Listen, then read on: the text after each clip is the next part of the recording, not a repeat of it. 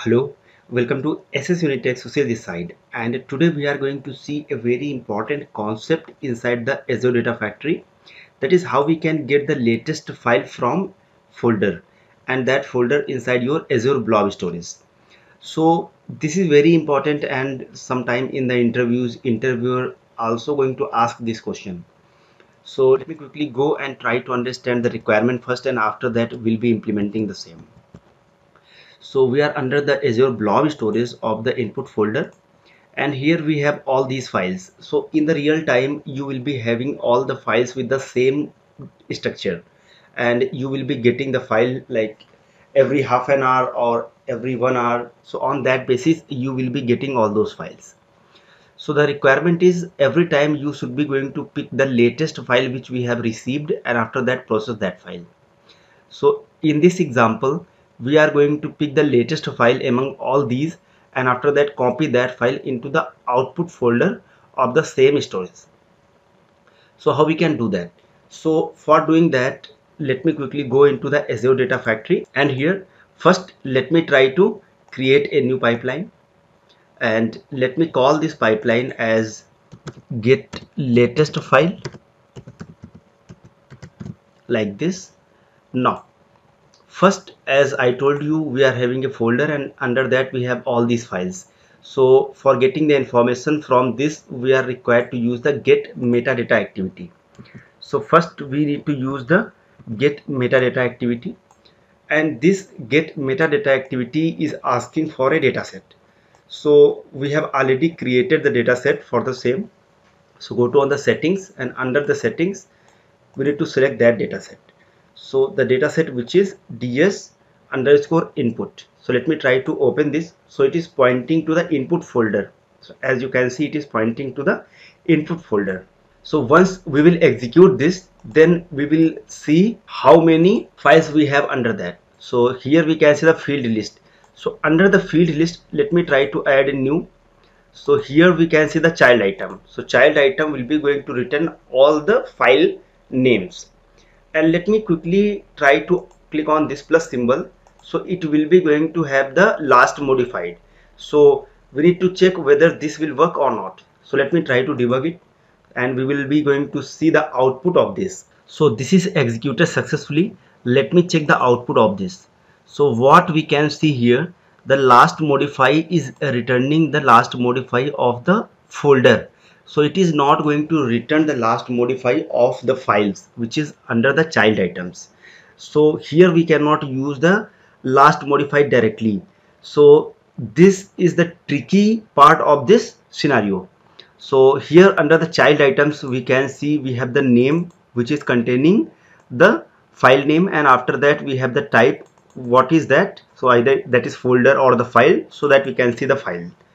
Let me try to close this and here we are not required to have the last modified so we can remove that. So only child items are required. Now we need to loop through for all these files. So for that we have to use the for each activity. So under the for each activity let me connect with the get metadata activity. So in this for each activity go to the setting. And here we need to select. So what we need to select? We need to select the output of the get metadata of the child item. So that we can see here we can select directly and click on ok. So this for each will be executing for all the files. So that we can see 1 2 3 4 5 6 so it will be executing total six times. Now next what we need to do let me go under this for each activity. So under the for each activity again we need to use the get metadata activity. And that get metadata activity will be going to get the last modify as per the file. And file name that we are getting under the for each activity. So so here what we need to do we need to point for each file. So let me go into the setting. And here we have already created a new data set which is the ds underscore input dynamic file. So it is asking a file name value so from where we will get this file name value let me try to open this data set first so I can show you that. So here we have created one of the parameter of the file name. So this parameter we are passing over here like the file name. So when we are using this data set it is asking the file name should be supplied on this. So file name we are getting from the for each container. So let me go here for each container and which property that is the name property. Don't worry for now i will show you later like from where we are getting this name property. Let me click on ok. So here what we want to do we want to get the file name and we also see the item name and this is the file name mainly and the last modify of this file. So here we can see the last modify. Now let me try to execute this so here the get metadata activity one will be executing. So this will be going to return all the files which is available under the input folder that we can verify from here. Like the name of this and total six files. So total six we can see. After that we can see the for each. So for each will be going to have total six items. So it will be executing six times so six times it will be executing the get metadata. So once we click on this then we will see the item name as the file name and the last modified at the last modified. So let me try to copy this. So it will be going to use later on this and let me try to put this into the notepad. So if we can go in the upside so it will be going to have the another file. So total six files we have with us and whatever the last modify of those file we have. So what next we need to do? So first let me try to create a variable and that variable will be having the file name and the last modify. So like two variables we need to create here. So let me try to go into the variable and here this will be for last modified and that is string and default value I am going to pass 1900 0101 like this. Here let me call this as file name variable and default value I am not going to pass anything. Now here let me go under this. So once we have this next we need to check whether your variable value of the last modify is greater than or less than of your actual last modify of the file. So that we can get from the get metadata activity but for checking we need to use the if condition activity. So let me connect the if condition activity from this get metadata activity. So in the condition what we need to do? Here simply go into the expressions and under the expression here first we need to check greater then we need to supply the first one. So let me try to use the format date time function. And this format date time from the get metadata 2 which is this one output. And output of which property? That is the last modify that we have seen here. So let me try to copy this. So this property is having the last modify of this. So dot this property. Now if this value is greater than again we need to use the format date time function and uh, then we need to supply the variable value the variable which we have created. So here we can see the last modify.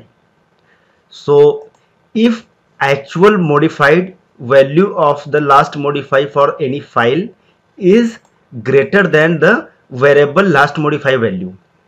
Then we need to add this variable value as the last module of that file. So what we are doing here we want to check between all these files and doing the comparison. And we'll be going to pick the latest file from here and after that we'll be proceeding accordingly. So let me try to click on ok so if this condition will true then we need to use the set variable activity. So under the set variable activity first let me try to add the last modify and this last modify value that should be equals to the output of the last modify to the get metadata 2 so that we can see here. So it will be going to supply into that variable. So in the first execution it will be going to have 1990 so it will be true. So it will ju directly jump under the if condition activity and under the if condition activity it will be going to assign under that variable of the last modify and at the same time let me use one more set variable activity. And this set variable activity I am going to supply the file name as well so file name is also label under the get metadata 2 of the item name. So that we can see here because we have seen the item name property is holding the name of the file. Now let me click on ok. Go back to here and here let me try to execute and we will see. So what it will be do? It will be doing the first get metadata one. So it will return all the six file then for each it will be going to loop through with all the file and under that the get metadata 2 so it will be going to execute one by one according to the files that we are getting through the for each container. And after that under the if condition activity we are checking if that is true. So the true condition we are checking the actual last modify of the file and the variable which we have created. If that value is true then we are assigning last modified for that file into that variable and next execution it is going to check with the first file. So let me go back here and try to check the outputs here. So as it got executed successfully here we can see the set variable activity last it got executed. So the value we can see 98 2022 so this is the last we have set into the last modified variable. Let me go here. We can compare with all the modified here so we can find this is the last modified. And same thing we are getting over here as well. Let me close. So this is we have done. Let me quickly go and try to use the copy data activity. And this copy data will be executing after the for each container. So once everything will be done then we need to copy the data file from input to output location. So for that we have already created the dynamic file dataset. And here let me quickly go and try to supply the value. So this time this value should be coming from the file name variable. Let me click on ok. So that is done. Let me quickly go into the sink. And for the sink we have already created the dataset. So we can select the output dataset here. Execute it so once it will be executed we will be going to see the last modified file should be copied from input to output location. So we need to wait a little bit on this so we can check and confirm. So in between let me go here and try to go into the output folder of this SSE testing. So we need to wait. And here the copy data is in progress so we can wait until it will not be completed. So as we can see it has copied let me go back here. And here we can see the item details.csv so the last modify that we can see today's date and time that we can see. So we have successfully copied this from source to sink location. And if you can see the input folder so under the input folder we can see this is the last modify among all these. So that's why it has copied from here to there. Let me recap what we have done over here so first we have used the get metadata activity to get all the files. And after doing that we are using the for each container. The for each container will be going to execute total file is 6 so it will be executing for 6 time. And under the activity we can see the get metadata 2 so this get metadata 2 is required because we have already seen the last modified is not working in the get metadata one. So here we are going to supply the file name from the for each container and after that we'll be getting the last modify for that file and then we are checking through a variable if the variable value is less than the last modify of the file then we need to assign the current file last modify value to that variable Similarly, we are going to assign the file name as well at the same time. So after doing that, we are going to copy that and the file name that will be getting from the variable where we have assigned under the if condition activity. So this is the flow that you have to remember. So thank you so much for watching this video. see you in the next video